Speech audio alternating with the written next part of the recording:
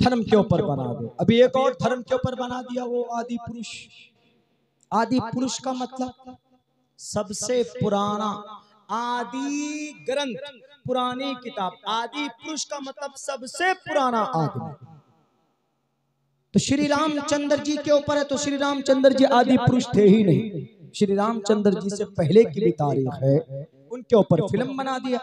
अब अब एक और फ़िल्म बनाया। कौन सा? मुसलमानों के ऊपर। बहत्तर होर। और इसको किससे जोड़ दिया? मुसलमानों से जोड़ दिया।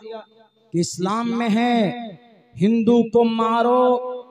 मरने मारते मारते शहीद हो जाओ। मारो। हिंदू को मार कर आओगे तो बहत्तर होर मिलेंगे। हमने इसके ऊपर बहुत तफसील से स्टडी की। बहत्तर होर के ताल्लुक से। हूर का असल क्या मसला? हूर का तस्करा है। वो लोग करते हैं, कभी कश्मीर फ़ाइल बना देते, कभी केरला स्टोरी बना देते। केरला स्टोरी में बत्तीस हज़ार लड़कियाँ मुर्द वो कन्वर्ट होकर सीरिया चली गई, वो उसमें दाइश में ज्वाइनिंग हो गई। तो हम देश के प्राइम मिनिस्टर साहब से पूछना चाहते हैं कि आपका जो जो सेक्रेटरी साहब हैं अजीत डोभाल साहब। बड़े टैलेंटेड हैं चार साल पाकिस्तान में रहकर आए केमिकल हथियार कैसे बनता है उसका पता लगा कर क्या है वो क्या अचार बना रहे थे जब बत्तीस हज़ार बच्चियाँ जा रही थी वीज़ा किसने उनको अप्लाई किया? आपको पता नहीं कि बच्चियाँ कहाँ जा रही पता चला पूरी षडयंत्र थी। वो डायरेक्टर की। अब कुछ नहीं मिलता। फ़िल्म में मार्केटिंग करनी है। धर्म के ऊपर बना दो। अभी एक और धर्म के ऊपर बना दिया वो आदि पुरुष।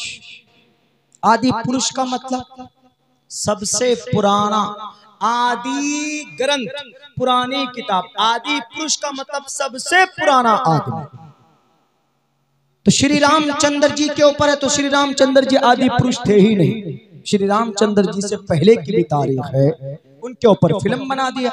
अब अब एक और फ़िल्म बनाया। कौन सा? मुसलमानों के ऊपर बहत्तर होर। और इसको किससे जोड़ दिया?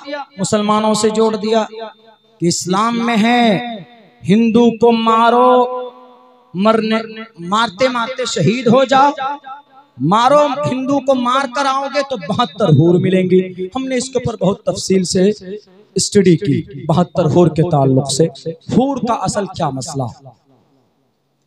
हूर का तस्करा है।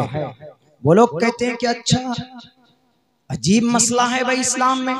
दुनिया में कहते शराब पीना हराम, और मरने के बाद कहते हैं कि शराब, मरने के बाद शराब जायज़, कैसी शरीयत है?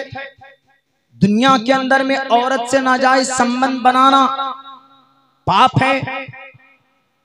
मरने के बाद जब स्वर्ग जाएँगे तो वहाँ अपनी बीवी के अलावा बहत्तर होने में किसी हिंदू को मार कराओ गलत बात है। किसी हिंदू को क्या किसी प्राणी को तकलीफ़ देने की परमिशन नहीं है। इस धरती पर बहत्तर होर का क्या मसला? बहत्तर होर का मसला। होर का कॉन्सेप्ट इस्लाम में यह है कि जो जन्नती होगा, जो अल्लाह के फरमान के मुताबिक अपनी ज़िंदगी गुजार कर जाएगा, मरने के बाद अल्लाह तबारक व ताला उसको हूर अता करेंगे। हूर कैसी होगी? ईन, बड़ी आँखों वाली। मकनून। और बहुत सी मकसूरात फिल खियाम, हवेलियों में, खेमों में हूर होंगी खूबसूरत समझाने के लिए। खूबसूरत बड़ी आँखें वाली कुरान करीम में इसकी तफसीर मौजूद है। बल्कि अहादीस पढ़ेंगे तिरमिजी पढ़िए। उसके अंदर इब्ने माजा पढ़िए। उसके अंदर अल्लाह के नबी फरमाते हैं कि जो जन्नती होगा वो उसको जन्नत के अंदर उसको हूर दिए जाएँ।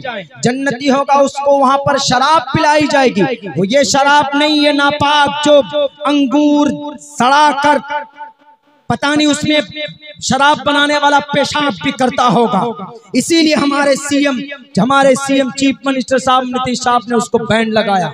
ये शराब शरीब ही नहीं, ये शराब पीने के बाद अकल मफलूज हो जाती।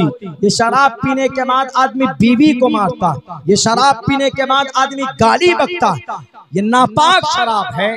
शराब मीन्स शराब means to drink something to drink something in the heaven किसी चीज़ को, मशरूब को पीना, वहाँ शराब से मुराद वो शराब है जो अल्लाह के तरफ़ से वो शराब और वो नापाक नहीं है, उसको पीने के बाद आदमी की अकल खत्म नहीं होगी। वो शराब पीने के बाद आदमी जिना नहीं करेगा। वो शराब पीने के बाद आदमी बीवी को नहीं मारेगा। वो शराब पीने के बाद आदमी की, आदमी का जो कॉमन सेंस है, वो अपनी जगह के ऊपर बाकी रहेगा। ये वो शराब है, मैडम मैडम मीडिया वाली। वो वो शराब है और बहत्तर हूर का जो तर्जमा तुम करते हो कि बहत्तर हूर मुसलमान हिंदू को मार कर आएगा मर जाएगा शहीद होगा तो कल कयामत में अल्लाह बहत्तर हूर देंगे। गलत बात। अगर हमारा कोई मुसलमान देश की तरक्की के लिए अगर देश को बचाने के लिए शहीद हो जाए या कोई मुसलमान जंग के मैदान में अब तो जंग नहीं है, लेकिन पहले जमाने के एतबार से अल्लाह के नबी के जमाने में होता था, बल्कि हमारे भारत के अंदर खुद हिंदू राजा, महाराजा आपस में लड़ते थे। उस जंग में अगर कोई शहीद हो जाता पर्टिकुलर मुसलमान तो अल्लाह के नबी सलाम ने इब्ने माजा के अंदर एक रिवायत है, जो मज़बूत दलील के साथ अल्लामा नासिर अलबानी ने इनकी तस्दीक की है कि अगर कोई बंदा मैदान कारजार में शहीद हो जाता है तो उसको कल कयामत में बहत्तर हूर अता करेगा और वो बहत्तर हूर मैडम मैडम मीडिया वाली तुम कहते कि बहत्तर हूर का मालिक कौन? बहत्तर हूर की निगरान आला उनका सिपे सालार उनका मुखिया उस शौहर का बीवी वो उसका जिम्मेदार होगा। ये जवाब है।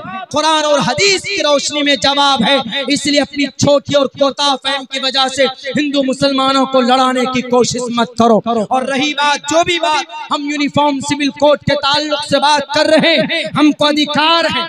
एक नागरिक होने का अधिकार है क्या आपका ये यूनिफॉर्म सिविल कोड ये भारत के संविधान का आर्टिकल नंबर 25 के खिलाफ में है आर्टिकल नंबर 14 के खिलाफ में है आर्टिकल नंबर उन्नीस के खिलाफ में है आर्टिकल नंबर छब्बीस के खिलाफ में है, सत्ताईस के खिलाफ में है, अट्ठाईस के खिलाफ में है। बोलना हमारा अधिकार। मेरी राय ये, जाती राय ये है कि यूनिफॉर्म सिविल कोड लाने से देश की तरक्की नहीं, बल्कि अगर देश की तरक्की चाहते हो। ये